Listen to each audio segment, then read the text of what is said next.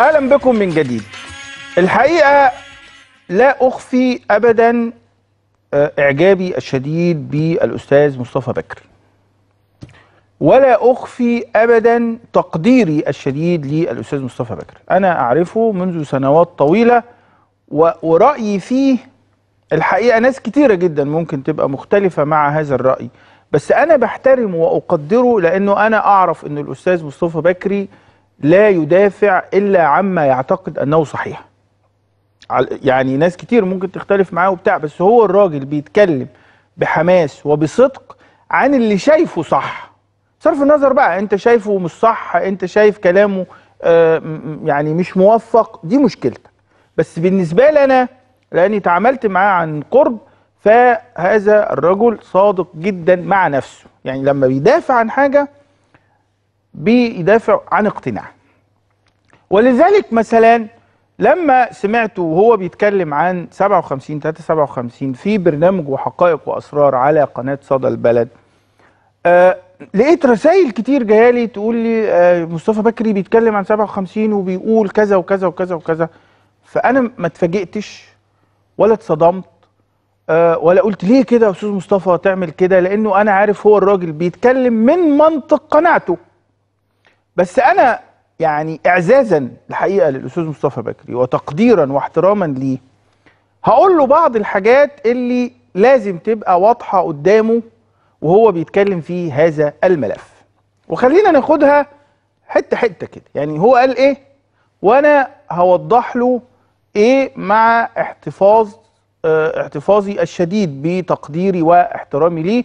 وأنا زي ما بقول لحضراتكم لا أخفي مشاعري تجاهه. أنا هذا الرجل أعرف دوره وأعرف ما يفعله فأنا أقدره. خلينا ناخدها واحدة واحدة كده. لأن ما قاله الحقيقة يدخل في باب التضليل الإعلامي ويدخل في باب التغطية على ملف مفروض نعرفه بوضوح شديد جدا. هو بيردم. فأنا يعني أربأ بالأستاذ مصطفى إنه يردم وأربأ بالأستاذ مصطفى إنه يبقى مضلل في هذا الملف. فخلينا نشوف قال إيه؟ والتضليل فين؟ ابدأ يا شباب. حدثني اليوم أحد الأصدقاء من كبار رجال الأعمال. وقال لي منذ فترة أصيب أحد أقاربه بكانسر طفل. فبدأ هذا الشخص يحاول الاتصال بمستشفى 57 357 فقالوا له لازم تاخد دورك. عمل المستحيل. جاب الكبار والصغار فالدكتور شريف أبو النجا قال له كل واحد بياخد دوره. واستعان حتى بالدكتور علي جمعة مفتي الديار المصرية السابق. واتصل بالدكتور شريف أبو النجا من أجل إنقاذ هذا الطفل فالدكتور شريف قال له بصراحة ووضوح يا مولانا أنا حاطط قواعد بتمشي على الجميع ولا استثناء فيها. وأنا الحقيقة حاولت ده قبل كده. وكان رد الدكتور شريف ابو النجا إن في قواعد والكل يلتزم بيها. وده الحقيقة برغم البعض ممكن يزعل منه لكن ده شيء جميل وعدل حقيقي وبيتم على أرض الواقع وأنا شاهد عليه زي اللي كلمني النهارده وهو شخصية كبيرة ومعروفة وقال لنا المهم لما جه الدور خد قريبه ده أو قريب. هنا الأستاذ مصطفى بكري بيقول إنه في رجل أعمال كبير ووسط علي جمعة عشان يدخل طفل مصاب بالسرطان لكن شريف أبو النجا قال له إنه إحنا ماشيين بقواعد وماشيين بالدور ودي العدالة المطلقة. قد يكون هذا الموقف حدث. يعني ما أقدرش أقول لك لا لا لا أستاذ مصطفى ما حصلش الكلام ده. قد يكون حدث. لكن هناك ما ينفي أن تكون هذه القواعد موجودة في 57 357 لأنك أنت عشان تقول لي ما كانش في واسطة لا في واسطة. كتير جدا. وأهدر بها شريف أبو النجا مبدأ التكافؤ في دخول المستشفى. وهقول لحضرتك حاجة يعني أنا عندي واقع هنا وإحنا بنشتغل في البرنامج. آه، من صحفية زميلة أحكي لك ليه. خلينا نستعيد تاني جزء من الحلقة اللي يأكد لك إنه كلامك مش صحيح مش مسألة إنه مفيش واسطة وإنه علي جمعة وإن أنت شخصيا ولو كان شريف أبو النجا بيعمل ده فكان يرسم صورة أعتقد إن هي ما كانتش حقيقية. إيه رأيك يا أستاذ مصطفى؟ اسمع ال- التسجيل ده. جزء من حلقة سابقة وإحنا بنشتغل في الملف ده. عندي واقعة تاني واقعة تاني بطلتها هنا صحفية زميلتي الأستاذة رشا عمار صحفية في جريدة الدستور وأجرت قبل كده حوار مع شريف أبو النجم معانا معانا رشا يا جماعة؟ طيب كلموا لنا كلموا لنا رشا. هنا هنا التعامل إيه؟ التعامل إيه؟ مش صحيح انه هذه المستشفى ما كانش فيها وسايط. ومش صحيح انه كل الناس اللي كانوا يستحقوا إن هم يدخلوها دخلوها. لا بالعكس. في ناس كتير جدا فقراء وما يعرفش يوصل لصحفي وما يعرفش يوصل لنائب وما يعرفش يوصل لحد مهم وماتوا على باب المستشفى. لأنه ما قدرش. في ناس تانية لأنه يعرف صحفي لأنه يعرف نائب لأنه يعرف إعلامي لأنه يعرف رجل أعمال لأنه يعرف دكتور صاحب شريف أبو النجا لأنه يعرف وزير لأنه يعرف حاجة اتكلم ودخل. فاذا لم تكن في لدى هذه الإدارة عدالة في التعامل مع المرضى. بتيجي التاجر وتقول إن أنا ما عنديش واسطة لا أنت عندك. بتدخل ناس وما ناس. أنا عايز شوفوا لي رشا يا جماعة لأنه لازم تسمعوا من من الصحفية. بس الواقع الواقع ببساطة شديدة جدا انه هي كصحفية كلمها كلمتها واحدة أو كلمها حد بيقول لها إن أنا عندي حالة وعايز أدخلها مستشفى 57 كويس؟ الصحفية دي اتكلمت ببراءة شديدة. رقم شريف أبو النجا طلبته دكتور شريف أنا الصحفية فلانه الفلانية في حالة عايزين ندخلها كذا كذا كذا. اداها من الميناء خيار. وانتوا وانتوا فاكرين والواسطة ولا نقبل أن يدخل مريض دون أن يكون هناك مش عارف إيه وانتوا المصريين بت... الكلام العظيم ده. قفلت رشا التليفون؟ وكلمت نائب في البرلمان. نائب صديقنا يعني. يا سيادة النائب في كذا كذا كذا كذا. ثلاث دقايق بالظبط لقت رشا آه، الدكتور شريف أبو النجا بيكلمها يقول لها يا ستي مش تقول إنك تبع سيادة النائب؟ وإن الحالة تبع سيادة النائب على عينينا. هاتي الحالة وتعالي معانا رشا؟ طيب هاتوه. يا رشا إزيك؟ مساء الخير يا دكتور. ازي بكلمك في حضرتك؟ التليفون متاخره بت- بتأخري في تقديم الموضوعات وفي التليفون. قولي لي طيب قولي لي. إنسان فضايح دي على قولي يعني. قولي لي طيب. آه، أنا كنت بتكلم على الموقف اللي أنت في في حد قصدك إنك تكلمي شريف أبو النجا عشان يدخل حالة ال- قولي لنا إيه اللي حصل في ده. بالظبط بالظبط. هي كانت من حوالي سنة ونص كده كان في حالة إنسانية ناس من الشرقية ابنهم عنده سرطان ومحتاج يدخل المستشفى بشكل عاجل الولد كان تعبان جدا وحالته تعبانة. المهم كلموني عن طريق حد زميل يعني. امم فكلمنا الدكتور شريف الدكتور شريف انفعل جدا في التليفون وزعل وزعق وأنا ما عنديش سراير وأنا تحولت لشخص يعني آه، مش مش كويس طبعا بلفظ طبعا ألفاظ دكتور شريف يعني آه. آه، علشان الضغط الصحافة والإعلام وكذا وكذا وكذا. المهم يعني الموضوع تحول بقى لشتايم وزعيق وكلام من ده. حاولت أشرح له الحالة رفض تماما يسمع الكلام وإن هو ما بي ملوش علاقة بالصحافة وما بيقبلش حالات عن طريق الصحافة أو الوسائط أو الكلام ده كله. امم المهم آه، طبعا يعني الحالة كانت حالة إنسانية والست كانت منهارة تماما زي ما أنا كتبت. في المقال على الدستور فكلمت حد من أصدقائي من نواب مجلس الشعب. آه، فالراجل كلمه قلت له لو سمحت يا يا سيادة النائب إحنا محتاجين بس يعني شوف لنا دكتور شريف أو أي مستشفى تاني تقبل الولد لأن الولد تقريبا بيموت يعني فمحتاجين له دخل يدخل أي مستشفى. آه، المهم بعد شوية فوجئت بشريف ابو النجا بيكلمني آه، على التليفون ويقول لي طيب مش تقولوا إن الحالة تبع سيادة النائب. فكانت دي من الصدمات الكبرى في حياتي يعني بالنسبة لل 57 آه، أشكرك. أنا قولي لي آه قولي لي. يعني هل لديك أقوال أخرى؟ فدي واقعة أهي. بهديها للاستاذ مصطفى بكر. صحفية كلمت شريف أبو النجا عشان يدخل حالة يعني حالتها خطيرة جدا الولد بيموت. زعق وانفعل وقال وعمل الشويتين ومفيش سراير وبتاع ومفيش واسطة وأنا ما بخضعش لضغط الإعلام قفلت التليفون كلمت نائب في البرلمان سيادة النائب كلم سيادة الدكتور فسيادة الدكتور كلم سيادة الصحفية قال مش تقول لنا إن الحالة تبع سيادة النائب. حالة حصلت. فاللي حضرتك بتقوله إنه مفيش واسطة وإنه في آه، مبدأ هو أرساه كلام مش صحيح. وكلام يدخل في مساحة غسيل وجه وسمعة المستشفى في وقت انت عارف انه في لجان بتشتغل فما كانش لائق انه ده يحصل. الأكتر من ده إنه الأستاذ مصطفى بكري بيتكلم عن الصرح الطبي العظيم الذي آه، يعني آه، آه، أكاديميات العالم تشهد له وده إحنا ما بننكروش ولا بنقول إنه غلط. بس اسمعوا كده الاستاذ هنا بيلفت انتباهي الأستاذ مصطفى بكري بما قاله وبادائه إنه سمعه 57 357 تقريبا مثلا ممكن يبقى 75% منها دعاية. دعاية تلفزيونية عبر ال- الإعلانات وعبر البرامج. دعاية. ليه؟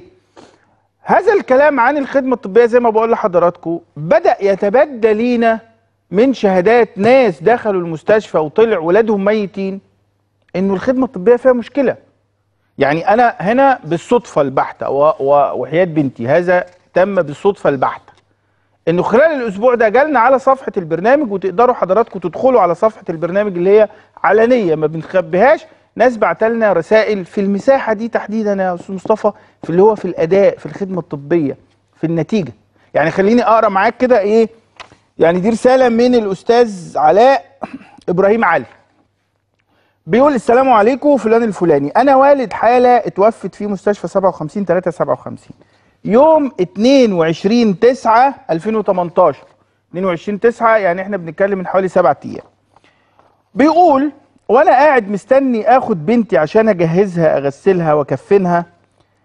كان في بنت موجودة معاها وفي اتنين كمان نزلوا وأنا موجود مش أقل من خمس أو أربع حالات وفاة كانوا في نفس اليوم يوم 22 9 2018 ولو شريف أبو النجا عنده آه، آه، رد على على الحالات دي يقول لنا في يوم 8 22 9 2018 في من أربع إلى خمس حالات وفاة نزلوا تحت في ال- المشرحة. بيقول أنا عارف حالة كانت ال- الأب ده بيقول أنا عارف حالة هناك موجودة. البنت دخلت عملية جراحية بسبب الكالونة الكيماوي الكالونة اللي في إيدها.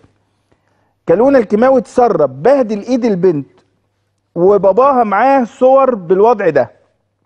والبنت حاليا في الرعاية. أنا مش بقول إن المستشفى وحشة لا المستشفى فيه تجهيزات ما شاء الله. بس فين اللي يشتغل عليها؟ ودي نقطة مهمة جدا. انت قاعد تجيب اجهزة وتجهيزات ويبدو ان مفيش حد عندك بيشتغل عليه. فهو بيقول ما شاء الله بس فين اللي يشتغل عليها يا فندم. أنا قعدت مع الدكتور محمد حجاج المدير الطبي للمستشفى بيقول لي أنا آسف وحقك عليا إحنا فعلا عندنا عجز في ممرضات الرعاية. وده بسبب مستشفى الفؤاد والسعودي الألماني. إحنا بنقول أهو على ال على ال على الملأ يعني. سحبت الممرضات من عندهم. قال بيدفعوا اللي إحنا ما نقدرش ندفعه. وبيقول الأستاذ علاء إبراهيم بيقول أنا قريت مقال الأستاذ وحيد حامد إن الصرح المحترم بيتلقى تبرعات ما يقرب من مليار جنيه سنويا بيتصرف 160 مليون و200 ألف أدوية. فين الباقي يا باشا؟ لما مؤسسة زي دي يبقى فيها فساد والناس ترضى إنها تاكل وتعبي في بطونها على حساب مرض أطفال أنا بقول لهم بس يقعدوا مع نفسهم شوية ويف- ويفكروا في الأمر وربنا يصلح حالنا جميعا. دي رسالة أب ال ال الأستاذ علي إبراهيم آه، علاء إبراهيم علي رسالة أب بيقول بيتكلم بعفوية بنته بنته ماتت عنده حالة اتوفت في 57 شاهد قاعد وهو شايف الحالات نازلة وبتاع ودكتور أهو بيتكلم مسؤول في المستشفى بيقول له عندنا ضع ضع عجز في ممرضات الرعاية والراجل بيتساءل عندهم أجهزة عظيمة بس محدش بيشغلها. طيب في حالة تانية. برضو بيقول أنا والد الطفل ورونا يا جماعة عشان تبقى قدام الناس. بيقول أنا والد الطفل باسل رواش المتوفي في 57 57 من سنتين. أسوأ خدمة وهي الرعاية المركزة. وأؤكد لك على إهمال الممرضين. الرعاية وحسبنا الله ونعم الوكيل ابني تعرض لتلوث في الرعاية. وأنا بأكد إن الأجازات الجمعة والسبت للدكاترة الكبار فعلا. فهنا يعني يعني أي الحاجتين في ال- الخدمة الطبية اللي أنت بتتكلم عنها إنه عنده ابنه اتعرض لتلوث في الرعاية وإنه في فعلا أجازات يوم الجمعة والسبت للدكاترة الكبار السينيور بتوع المستشفى وسايبين الجونيور هناك الش- الشباب الأطباء الصغيرين والكبار مش موجودين في المستشفى. دي الخدمة يا أستاذ مصطفى اللي الناس بيقولوها. أنا عارف إنك بتسمع للناس وصوت الناس. وبتحب إن الناس دي تتكلم وأنت تعرض تعرض. أنا بقول لك الناس بتقول إيه. عندي الحالة الثالثه آه الأستاذة أسماء إبراهيم. الاستاذه أسماء إبراهيم بتقول اليوم اللي توفت فيه سجدة. سجدة اللي هي الست أم علاء لما كلمتنا عن سجدة من كذا يوم. بيقول بتقول الأستاذة أسماء اليوم اللي توفت فيه سجدة كان معاها حالتين تاني. بنت اسمها مريم وولد كبير في نفس الساعة الله أعلم بيكونوا كام طفل توفوا على مدار اليوم. وطبعا ثلاجه الموتى ومكان الغسل مكان تحت الأرض في المستشفى. يعني فوق عالم وتحت عالم يعلم بيه ربنا. وربنا يلطف بحالات الأسر اللي بتيجي تستلم ولادها ويلطف بينا ويصبرنا على فراق سجدة. طيب لما لما أجي بقى كإعلام موضوعي يا أستاذ مصطفى ببساطة الرواية العظيمة اللي انت قلتها انه التقرير انه ال- ال- ال- الأكاديميات والمستشفيات الدولية ما بتاخدش إلا بتقارير 57 حط ده جنب كلام الأهالي اللي ولادها بتموت. ولادها بتموت. أصل الناس ما حدش هيتاجر بابنه بعد ما يموت. يعني ابنه خلاص مات مش هيتاجر بيه عايز حقه بس. أو عايز ناره تبرد.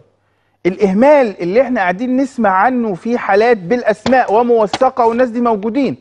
بقول لحضرتك تقدر تدخل على صفحة البرنامج هتلاقي الناس بأسمائها بصورها بتليفوناتها قايلين هذا الكلام. محدش هيتاجر بابنه أو حد يطلع يقول ابني اتعرض لإهمال أو أو إلى آخره. وقائع واضحة وبالأسماء. فحكاية إنه آه، كيان وسمعة عالمية ده يبدو إن الإعلام اللي نفخ في هذه المستشفى. طيب لقينا الكلام برضو إن الاستاذ مصطفى بيقول يا جماعة التبرعات تراجعت. تبرعات تراجعت. سمعوني كده يا جماعة. يتعبني أنا نفسيا إن المستشفى بدأت كبار الموظفين ينسحبوا منه وخصوصا ممرضات اللي بياخدوا مرتبات مجزية لأنه المستشفى مش قادرة تدي حوافز الآن لأن التبرعات قد انخفضت بنسبة أكثر من 40% حتى الآن. مش عليهم هم بس عليهم. وعلى أبو الريش وعلى المعهد القومي للأورام. ويحدثني الراجل على إنه في كارثة مقبلة بهذا الشكل لأنه جرى التشكيك في هنا هنا حاجتين. الحاجة الأولى إنه التبرعات انخفضت بنسبة 40% طيب أنا دلوقتي عندي رقمين مش عارف أعمل فيهم إيه. رقمين لنسبة انخفاض التبرعات. أستاذ مصطفى بكري؟ بمصداقيته بيقول 40% طب ما نفكركم كده الأستاذة نشوى الحوفي برضو في إطار دفاعها عن المستشفى بتقول التبرعات انخفضت بقد إيه؟ سمعوني نشوى كده. أنا بقول الحقيقة وأنا الحقيقة النهارده مع هذا القمر اللي هو بيتعالج في 57 القمر ده ذنبه إيه؟ النهارده التبرعات نزلت 60% كمجتمع إحنا بنخاف وسايبينها دلوقتي لحد ما يبان لها صح. أنتوا عايزين تهدوا 57 خلاص تخيلوا الحياة من غير 57 57 بتعالج 11000 مريض سنويا. ما بين طب 60 يبقى نشوى 60 أستاذ مصطفى عليه ب 40 نصدق انه طيب ليه ما يبقاش في شفافية؟ ويطلع شريف أبو النجا اللي هو يبدو إنه بقى على رجليه نقش الحنة. ما بيطلعش. يطلع يقول يا جماعة والله أنا آه، قبل الحملة اللي معمولة دي التبرعات كانت كذا. دلوقتي التبرعات بقت كذا فيقول لنا رقم إنما نشوى تطلع تقول 60% الأستاذ مصطفى بكري يطلع يقول 40% نصدق مين؟ نصدق مين؟ نصدق نشوى اللي شغالة في المستشفى ولا صدق الأستاذ مصطفى بكري اللي ما بشككش في معلوماته بس يبدو إنه جانبه الصواب هذه المرة. عاوزين رقم وهي دي مشكلتنا مع المستشفى مشكلة أرقام إنك مش عايز تطلع تواجه الرأي العام. دي ليست ملكية خاصة، هذه ليست عزبة خاصة وإحنا بنتكلم عليها، هذه أموال مصريين دفعوها لعلاج الأطفال. والاعتراض على إن هي لا تنفق في علاج الأطفال. كويس؟ ليه بقى؟ لأن أنا هقول حاجة تانية. الأستاذ مصطفى قال إنه الانخفاض التبرعات بنسبة 40% أدى إلى إن كبار الموظفين يمشوا. كبار الموظفين يمشوا وخصوصا الممرضات اللي كانوا بياخدوا أموال مجزية. ومفيش مكافآت ولا حوافز بتتصرف. طب إيه رأيك في اللي قاله آه آه يعني والد حالة من اللي توفت وإن الدكتور هناك مسؤول اسمه إيه؟ اسمه دكتور محمد حجاج المدير الطبي. قال له يا أستاذ مصطفى إنه عندهم عجز في ممرضات الرعاية عشان في مستشفى كذا وكذا بتدفع أكتر منها فالممرضات بيمشوا أو مشيوا عشان في حد تاني بيدفع أكتر. ده رقم واحد. رقم اتنين. ما تيجي أكلمك شوية عن طقم التمريض في مستشفى 57 وبالمرة نقول إضافة للناس في اهتراء إدارة هذا الصرح الطبي اللي عايزين يبلعونا بالعافية إنه صرح عظيم. اللي حاصل إيه؟ إنه الطقم الطبي للتمريض في 57 ثلاث مستويات. المستوى ال- اللي هو الأكبر اللي هم الممرضات دول عددهم يوصل تقريبا 3000 في المشرفات اللي هم بيدوروا بقى ال 3000 دول حوالي 20 ممرضة. وبعدين في مشرفة كبيرة أو اللي هي مديرة بقى التمريض فعندي ثلاث مستويات. هقول لحضرتك المسؤولة عن التمريض في المستشفى بتاخد 75000 جنيه يا أستاذ مصطفى. ولذلك مثلا اللي يقول لك إن الدكتور إن الدكتور شريف أبو النجا بياخد 59000 جنيه ده أكاذيب. يعني أنا أنا الرقم الحقيقي اللي بياخده شريف ابو النجا أنا ما اعرفوش بس لما تبقى رئيسة التمريض في المستشفى بتاخد 75000 جنيه في الشهر هو يبقى بياخد كام؟ ده سؤال ممكن نشوى تبقى جاوبنا عليه. رقم واحد. رقم اتنين ال 20 دول اللي هم مشرفات التمريض بياخدوا حوالي تقريبا من 20 ل 25 ألف جنيه في الشهر. الممرضات بقى؟ لا مرتبات متدنية. اتكلم بقى في 3000 في 4000 في 5000 بالكتير. اللي هو انت بتتكلم على ناس مفروض متفر... متفرغين. الطقم التمريض في 57 لما تيجي تتأمل اللي بيحصل وهم ال- الممرضين يعني اللي هم بيتعاملوا مع المرضى بشكل مباشر انت بتتكلم وكأنه هناك سخرة. بعد ما كان بيتم تجديد العقد كل كل أربع سنين بقى يتم تجديد العقد كل سنة. دي ممكن تبقى كويسه عشان اللي ما يشتغلش كويس يعني لكن إدارة ال HR والإدارة القانونية هناك بيتعاملوا مع الممرضات كأنهم عبيد. عبيد. ويقدر الأستاذ مصطفى يسأل شريف أبو النجا أو ما يسألش شريف أبو النجا يروح يسأل الممرضات هناك بيتعاملوا إزاي. فهنا المعلومات يا فندم مش صحيحة. اللي أنت بتقوله في إطار دفاعك عن المستشفى مش صحيح. وبعدين فجأة لقيت في انحراف فيما قاله الأستاذ مصطفى بكري عن الحملة اللي عالجت موضوع 57 هقول لكم الانحراف ده فين. سمعوني كده يا شباب. وأنا عارف ومن معلومات مهمة أنه لا توجد وبقولها وأنا مسؤول على الكلام ده لا توجد انحرافات حقيقية في مستشفى 57 53 كما رصدها هذا التقرير. ولا توجد مخالفات صحية كما رصدها تقرير وزارة الصحة. طيب. أنا ما بشككش في نوايا حد. ولكن مش حرام مش حرام إن مستشفى زي ده ينهار. مش حرام إن أبو الريش تتراجع التبرعات بتاعتها. مش حرام إن المعهد القومي للأورام اللي بيدخلوا في اليوم آلاف هنا لازم اختلف معاك يا أستاذ مصطفى آه اختلاف كبير. ليه؟ لأنه الذين قالوا لك أن الذين قادوا الحملة ضد 57 اتهموا ايا من مسؤوليها بالانحراف كذبوا عليك. وأنا آسف يعني اعذرني ضللوك. ليه ضللوك؟ لأنه في هذه الحملة اللي بدأت من عند الأستاذ أسامة داوود وكتب فيها الأستاذ وحيد حامد وبعدين تبنيناها هنا لم يتهم أحد أي مسؤول في 57 بالانحراف المالي على الإطلاق. ما حدش قال إن في حد حرامي ولا في حد سرق ولا في حد أخذ. الاتهام إيه يا فندم؟ الاتهام أن أموال التبرعات التي يدفعها المصريون لعلاج الأطفال مرضى السرطان الفقراء تنفق في وجوه ليست هي الوجوه التي تبرع المصريون من أجلها. فقط. ده الاتهام. الواضح. فلما تقول لا توجد أي انحرافات حقيقية طبعا. إحنا إحنا ما اتهمناش حد بإن في انحرافات. ولما تقول لا توجد مخالفات صحية لا. ارجع بقى عند الناس اللي ولادها ماتوا عشان تعرف إن في مخالفات صحية. وإحنا والله ما كناش بنتكلم عن المخالفات الصحية لأن إحنا كنا واقعين أيضا ضحية للآلة الإعلامية الضخمة التي تقف وراءها 57 وبتصور للناس إن هي حاجة عظيمة جدا. لكن يا أستاذ مصطفى راجع نفسك. بتقول إن في لا توجد انحرافات وإنت تعالى هنا استنى صح. استنى صح. هو أنت اطلعت على التقارير.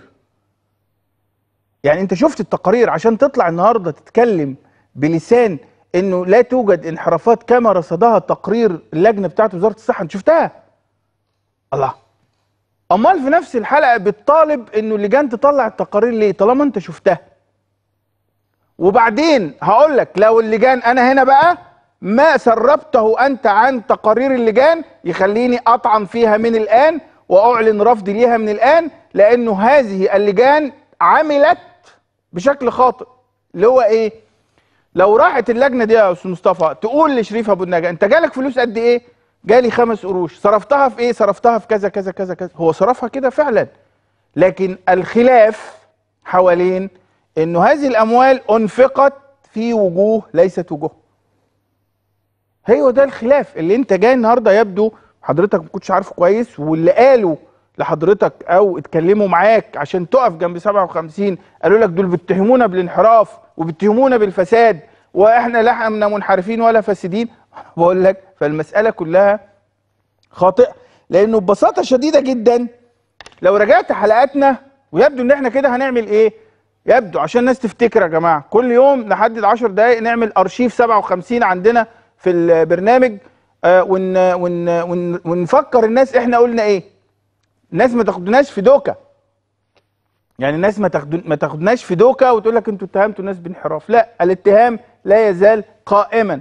لأن هو التبرعات يا أستاذ مصطفى ينفع يتمول بيها مسلسل تنتجه المستشفى والتأليف ياخد 5 مليون و800 ألف واللي مش عارف الفورمات تاخد آه، آه، 2 مليون واللي مش عارف مين ياخد إيه. لا في الإعلام جهاز الإعلام. اسأل صديقك شريف أبو النجا الجهاز الإعلامي في المستشفى بياخد فلوس قد إيه؟ بياخد فلوس قد إيه؟ هو بياخد مرتب قد إيه؟ ويرجع يقول لك نحن نضحي من أجل الوطن. يا سلام. حلو قوي التضحية دي. خدوا نضحي معاكم من أجل الوطن وناخد كل الفلوس اللي بتاخدوها دي. طالما كل واحد يطلع يقول لنا إحنا بنضحي من أجل الوطن وتلاقيه بياخد قد كده. وتيجي تكلمه يقول لك لا ما تكلمناش. إحنا بن- بنخدم البلد دي. اللي بيخدم البلد دي اللي بيبني واللي بيزرع واللي بيعمل وما بيطالبوش بحاجة. فاذا في نقطة مهمة جدا. أنا عايز بقى أفكر الأستاذ مصطفى بصور كده لطيفة جدا. وروني كده يا جماعة. وروني الصور. أهو. ده الأستاذ مصطفى بكر يا جماعة. تمام؟ وروني الصورة اللي بعدها. أوضح شوية. أهو. كان بيعمل إيه الأستاذ مصطفى بكري؟ كان عضوا من أعضاء لجنة تقصي الحقائق في القضية التي عرفت اعلاميا باسم فساد صوامع القمح. تمام؟ طيب يعني أنت كنت عضو في لجان تقصي حقائق وطلعت فوق الصوامع تشوف بنفسك وبتاع. إحنا ما شفناش أي حاجة عن اللجان اللي كانت بتحقق في 57 يا أستاذ مصطفى. ما نعرفش عنهم حاجة. ما حدش قال لنا حاجة. ما حدش طلع إشارة. ما حدش طلع يعني لمحة آه، ضوء يقول لنا إن فيه حاجة. وبعدين أنت ما أعرفش هل دي زله لسان إنك بتقول كما آه، رصدت تقارير اللجنة التي جهزتها وزارة الصحة؟ لا يبقى في حاجة في لعب بقى هنا يا أستاذ مصطفى معلش. في لعب مش مظبوط. في حاجة بتتم بشكل مش وانت أنا مرضهاش إن أنت تقع في هذه المغالطة لاني مرضاش كمان أنك تتحدث ما عهدتك أن تتحدث بهذا الصوت. لأنه أنت إيه بتستعطف الناس إن الناس تتبرع؟ ما تثب- يثبت شريف للناس إنه فلوسها بتروح للعلاج والناس هتروح.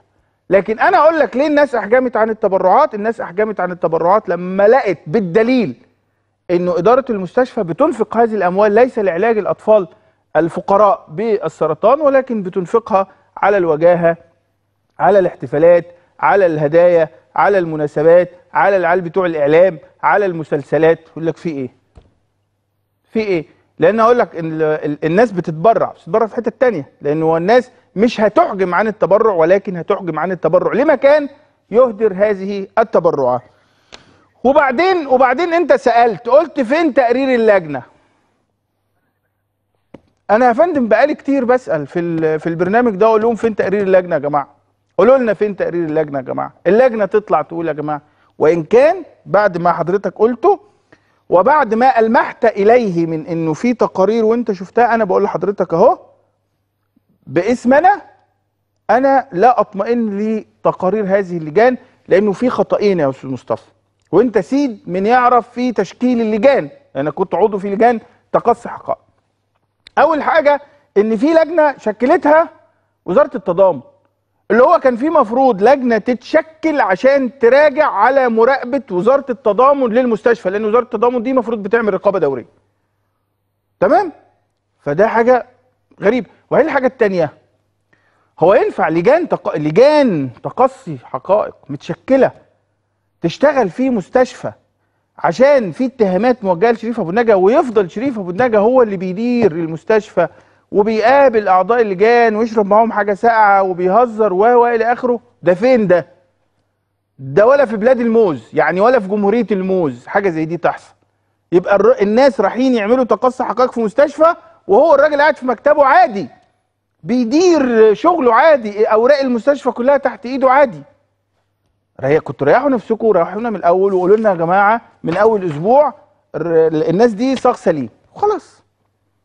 لكن هم مش صاغ سليم هم صاغ سليم وأنا بقول أهو الاستاذ مصطفى بكري وهو صديق عزيز ويعني آه، آه، أدين له بأشياء كثيرة جدا. لا. هذه عثره من عثراتك أنت وقعت فيها يا أستاذ مصطفى. لا تليق بيك الحقيقة. راجل طول الوقت مقاتل ومناضل من أجل ضد الفساد فإحنا هنا بنقول تحقيق يتم بشكل محايد ما تمش بشكل محايد. إذا كان جرى تطلع تقول تحمل الحملة الشفافية كانت تقتضي إنه الراجل يطلع يقول واحد اتنين تلاتة أربعة وخلصنا من الموضوع ده. إنما حالة الإخفاء البلد دي البلد دي ما عادش فيها حد أكبر من القانون. وأدينا قاعدين هنشوف. وعايز أقول لكم حاجة تاني مرة تانية الحقيقة عشان نطلع للأستاذ محمود آه بدر عشان قضيتنا التانية دي مع الحضانات. بس خلاص قدرنا كده وقدركم إن أنا أسيبكم بقى الوقت إيه مع آه ال- المشهد الشهير الشنكل. يعني قدرنا كده.